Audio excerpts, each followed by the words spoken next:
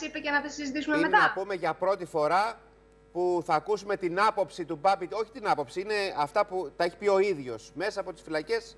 Αποκλειστικά να ακούσουμε πρώτη φορά τι λέει μέσα από τις φυλακές ο Μπάμπης Αναγνωστόπουλος.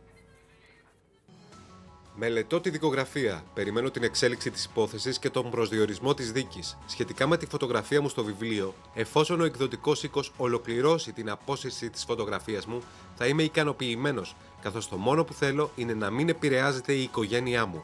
Ω προς το ζήτημα που έχει ανακύψει σχετικά με τα τελευταία δημοσιεύματα, δεν θα ήθελα να τοποθετηθώ.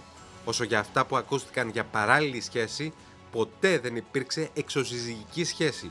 Δεν υπήρξε τίποτα που να επηρεάζει την οικογένειά μου.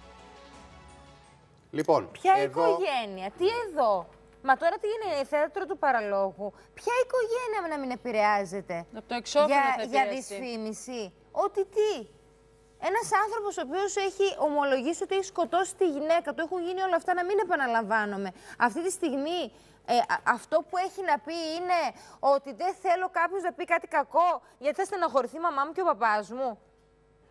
Από το Η εξώφυλλο έκρηξη του της Face βιβλίου. με βρίσκει απόλυτα Από σύμφωνη. αυτό θα σε- στεναχωρηθούν οι γονείς του. Που Και θα χωρί πρέπει να να του σας ξέρουμε πω- τους ανθρώπους, όλοι καταλαβαίνουμε ότι και οι δικές τους ζωές καταστράφηκαν. Ε, βέβαια. Στιγματίστηκαν για πάντα. Στιγματίστηκαν για πάντα, ναι. Ούτε να τους υποστηρίξει θέλει κανείς. Από αυτό θα στεναχωρηθούν οι γονείς.